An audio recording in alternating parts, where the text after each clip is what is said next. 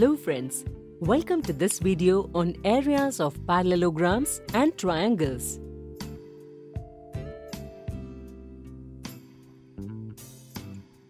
In the previous video, we solved some questions based on triangles situated on the same base and between the same parallel lines. Today, we will solve some more questions based on it. So let's start. In the given figure, triangle PQR is an isosceles triangle in which sides PR and QR are equal. Points M and N are the midpoints of the sides PR and QR respectively. Point R is the midpoint of side AB and AB is parallel to PQ. The two lines B and P and A and Q are straight lines. Now, show that the area of triangle AQR is equal to the area of triangle BPR.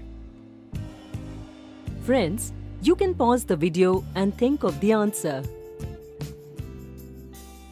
We need to prove that the areas of triangles BPR and AQR is equal.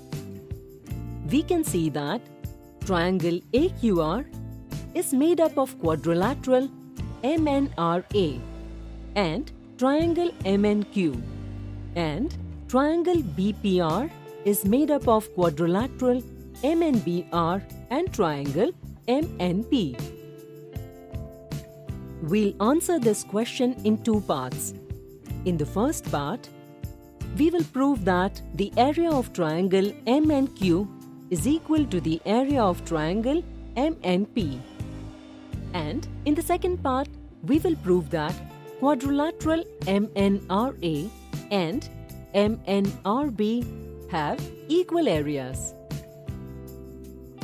You can pause the video and think how we reached this conclusion. Let's look at the first part. Friends, it's given to us that triangle PQR is an isosceles triangle in which side PR is equal to side QR. It's also given that points M and N are the midpoints of the sides PR and QR respectively. Therefore, PM will be equal to MR and QN will be equal to NR. And we can write it like this also. From equations 1, 2 and 3, we can say that side MR will be equal to side NR. Let's call this equation 4. Friends, now look at triangle PQR. Points M and N are the midpoints of side PR and side QR respectively. Using the theorem of midpoints, we can say that line segment MN is parallel to PQ. Friends, now look at the figure carefully triangle MNQ and triangle MNP have a common base MN and therefore their area will be equal because we know that triangles situated on the same base and between the same parallel lines have the same area. Let's call this equation 5 and here we have proved the first part of the question. Now let's move to the second part. Friends, what can you say about quadrilaterals MNRA and MNBR? These two quadrilaterals are situated on the same base and between the same parallel lines.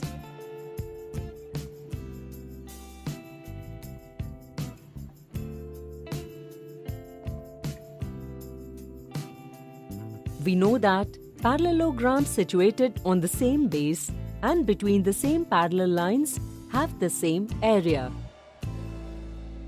So, can we use this theorem here and say that their areas will be equal? Friends, You can pause the video and think of the answer.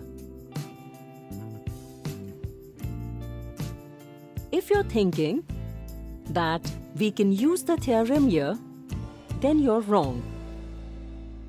Because these quadrilaterals are situated on the same base and between the same parallel lines. But they are not parallelograms. Therefore, we can't use this theorem here.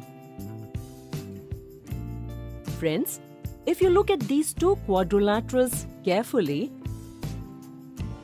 then you will see that quadrilateral MNRA is made up of these two triangles and quadrilateral MNBR is made up of these two triangles. Here, triangle MNR is common in these two. So, if we prove that triangle MRA and triangle NRB are congruent, then we can say that the area of these two quadrilaterals is also equal. Friends, it's given that AB is parallel to PQ. And we know that MN is also parallel to PQ. Therefore, MN and AB will also be parallel to each other.